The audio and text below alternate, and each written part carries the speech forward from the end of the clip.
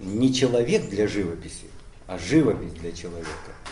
Э, к сожалению, очень часто э, человек становится для живописи, когда э, профессиональные достижения важнее, чем радость творчества.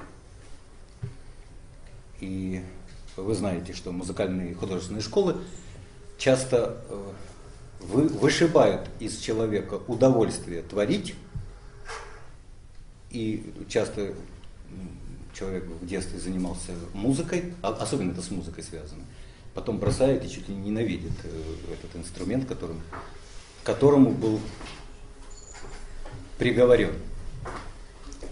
В живописи немножко легче, там приговоренность не такая суровая, как в музыке. Но тем не менее масса художников э, совсем не являются в широком смысле художниками. Это как бы профессионалы в какой-то какой-то манере исполнения, которые достигают действительно. Это тоже творчество.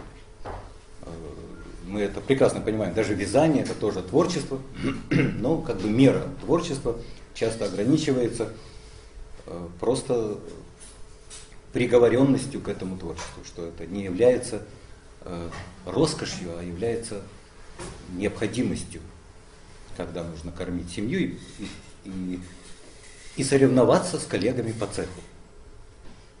Ремесло. Вот в вашем да, смысле, э, вот когда вы взро- во взрослом состоянии приступаете к живописи, вам это не грозит. У вас нет э, столкновения с коллегами по цеху, нет этого соревнования с ними, и нет необходимости кормить семью. Вы и, и, до, и, и до живописи прекрасно этим э, преуспеваете в этом.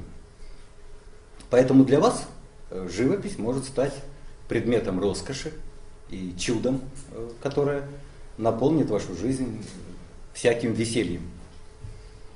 И иногда заменит э, недостающие звенья, которые есть в жизни, недостаток там, любви или недостаток общения, а особенно общения. Причем профессиональный художник настолько борется за свое место под солнцем, что ему даже иногда и некогда общаться. А выставка для него это этап, который нужно пройти, чтобы потом срочно приступить к новой. И вот этот вот процесс э, освоения собственного, ну, завоевания места под солнцем, территории, внимания, он какой-то становится тяжелый. Хотя вы прекрасно знаете, что ни один художник не отказался, э, не сошел со своего пути, в отличие от других профессий, которые с удовольствием меняют, меняются на, на творческие.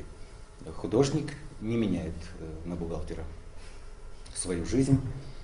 И я думаю, здесь неоспоримый, неоспоримый факт.